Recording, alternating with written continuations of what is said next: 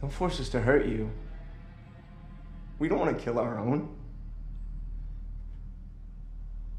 Please just let us purge. Um, get the fuck off my property.